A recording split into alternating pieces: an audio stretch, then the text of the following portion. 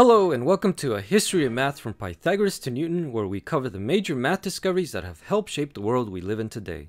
In this lesson we cover the Hindu-Arabic numerical system and the development of algebra.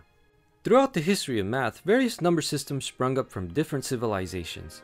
All these number systems had different ways of doing arithmetic, but no other system compared to the Hindu-Arabic system. It was developed in India around the year 600.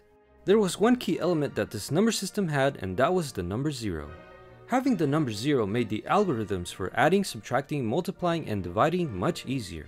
Around the year 1200, merchants in Italy quickly adopted this system because of its convenient way of doing calculations. This represented a shift away from old systems such as the Roman numerals and the abacus. Around this time, algebra was also being developed.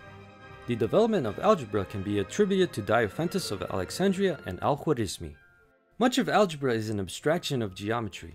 For example, this is the representation of the Pythagorean theorem, but today it is mainly represented by the symbols of a squared plus b squared equals c squared.